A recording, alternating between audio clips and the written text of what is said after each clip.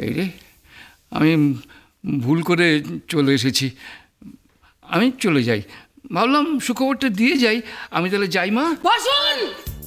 খবরদার উঠবেন না। আর যা যা প্রশ্ন করছি একে একে উত্তর দিয়ে যান। তুমি তো জানো না আমার চণ্ডীপাঠের অভ্যেস একবার বলতে শুরু করলে সূচি ঢলে যাবে। দাদু দাদু দাদু আমি বলছি কি এখন যা পরিস্থিতি এখন যদি আপনি ইয়ে করতে যান তাহলে ইয়ে হয়ে যান। মানে দাঁড়াতে গেলে ভুলে যাবেন। এক কাজ করুন চুপ করে বসে থাকুন যান। জিজ্ঞেস করছে ওনা মুখ করে শুধু বলে যান। কি জ্বালা? আচ্ছা কি জানতে চাও বলো। দাদু বিষ্টুর বউকে দেখতে কেমন গো? আমার থেকে সুন্দর। ব্যাস এই প্রশ্নটাই তোর করার ছিল? দেখতে মন্দ নয় শার্ট ধুতি পরে বেশ লাগছিল। শার্ট ধুতি পরে? দাদু আপনিও কি বড় দাদুর মতো আজকাল আপনি টাপিন খাচ্ছেন নাকি হ্যাঁ? সত্যের যুগ নেই গোমা চণ্ডীপাঠ করি। যা দেখেছি আমি সেটাই এসে বলেছি। আর কি দেখলেন? বিষ্টু শাড়ি পরে। আপিক না এ তো বড় দাদুকে ছাড়িয়ে যাচ্ছে। আর? আমাকে একটু সময় দেবে? আমি একটু গুছিয়ে বলি হ্যাঁ? তাহলে তোমাকে এত প্রশ্ন করতে হবে না বেশ বলুন। বলুন বলুন। তারপরে তিনজনে মিলে বিষ্টু আর আর ধুতি পরা মেয়েটাকে বেঁধে টানতে টানতে টানতে টানতে নিয়ে যাচ্ছে।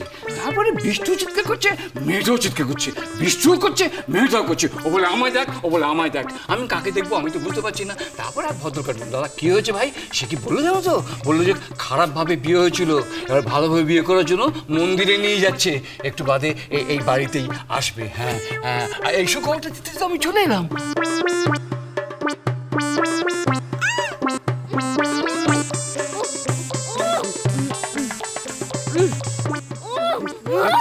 তবুও দমে না হ্যাঁ? কেন কথা খরচা করছিস কেউ তো বুঝতে পারছে না। এরপরে লোকজন জড়ো হয়ে যাবে। এই কথা যদি কারগিলে পৌঁছয় না তাহলে সামনে মহা বিপদ। চুপ কর তোরা। দয়া করে চুপ কর রে। আর বিপদ বাড়াস না দাদু ভাই।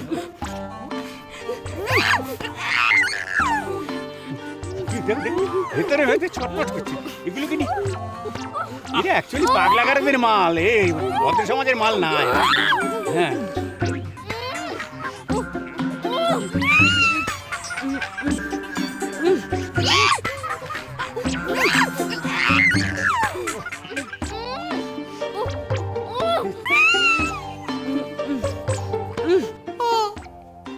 বিষ্টু যখন শাড়ি পরে বিয়ে করেছে, তার মানে বিয়ের পরে ও বাড়ি যাবে। বিষ্টুটা শ্বশুর বাড়ি চলে গেল।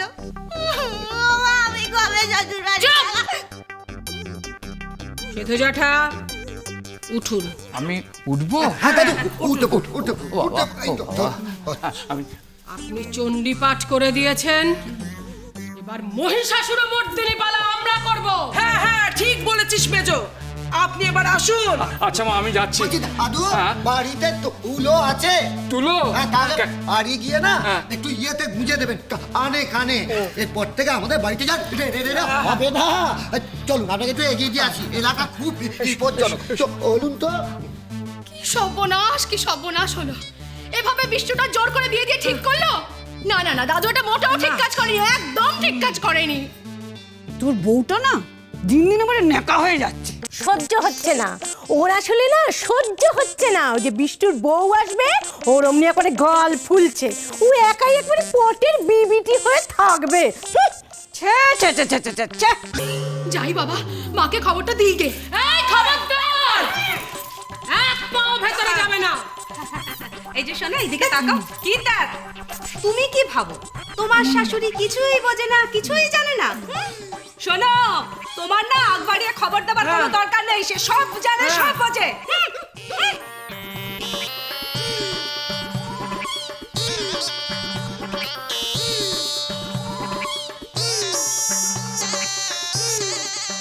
হ্যাঁ মেজো কি বুঝলিটা কি?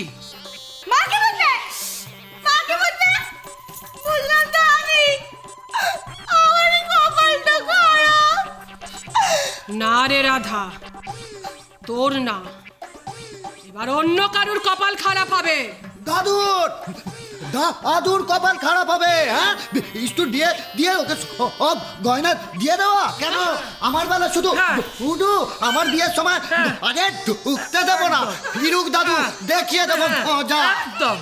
হ্যাঁ রে মেজো কি করবি এখন? দেখে যাও।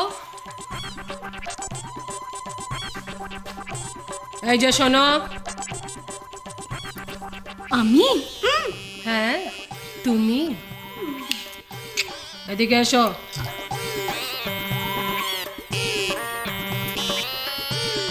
কি হয়েছে? তুই ঘেঁচে করবি। মন্দিরে যদি বিয়ে হয়ে যায় সেই মেয়েই তো তোর ঘরের লক্ষ্মী হবে রে। আর সেই গয়না আমার ঘরের রত্ন।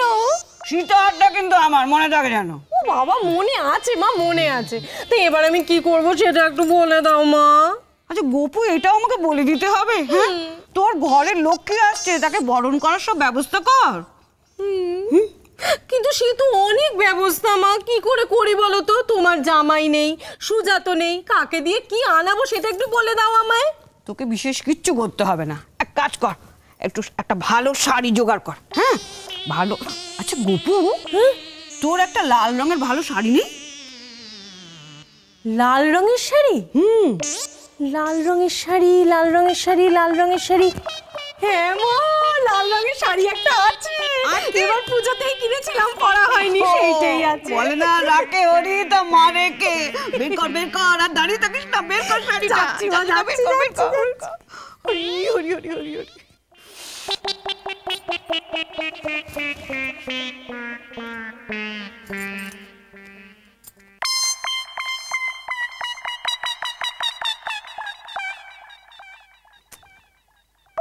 বের কর না।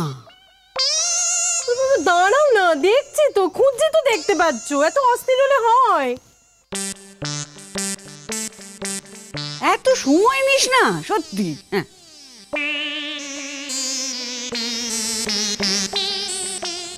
যে সুন্দর না?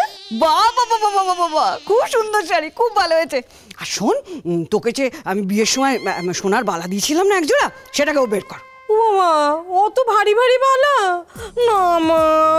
আহা তুই কি আমার কত বোকা ভাবছিস? ওটা নিরেট সোনা নয় হ্যাঁ। হ্যাঁ? ওটা সোনার না? ছ্যা ছ্যা ছ্যা ছ্যা ছ্যা।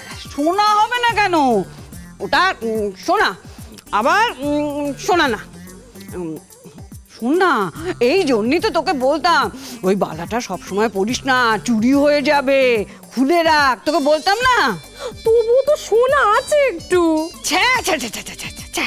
তুই তো কিপটে কেন বল দেখি হ্যাঁ এত সোনা পাবি একটু দানা ছড়াবি না তারপর দেখ তোর শ্বশুরমশাই যখন দেখবে তুই তোর বৌমাকে শাড়ি দিয়েছিস বালা দিয়েছিস কত খুশি হবে বল দেখি। হ্যাঁ মা ঠিক বলেছ তুমি। বার করি বলো গয়নাটা? বার কর বার কর। বিয়ের আগে তোকে ওখানে পৌঁছতে হবে। হ্যাঁ বের কর। হ্যাঁ হ্যাঁ, ঠিক বলেছ ঠিক বলেছ। বার করছি দাঁড়াও এক্ষুনি।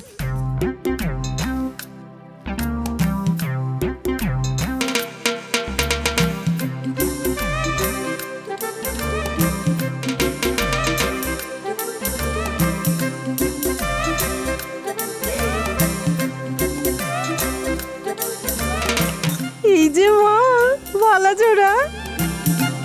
খুব সুন্দর হবে বলো।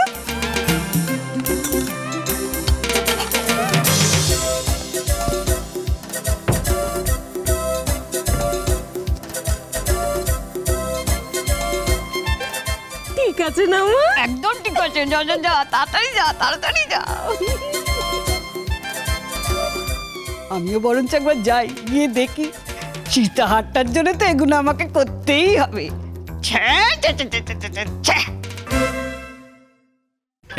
না।